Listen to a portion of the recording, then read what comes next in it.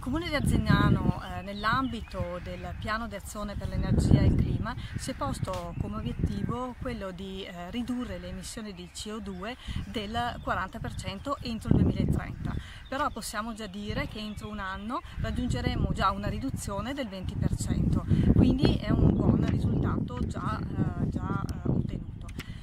informiamo però anche i cittadini di una novità, tra l'altro siamo tra i primi comuni in Italia a predisporre quella che è una piattaforma per, per la cittadinanza, all'interno della quale, che sarà tra l'altro eh, online nel sito del comune tra qualche giorno, ehm, i cittadini hanno,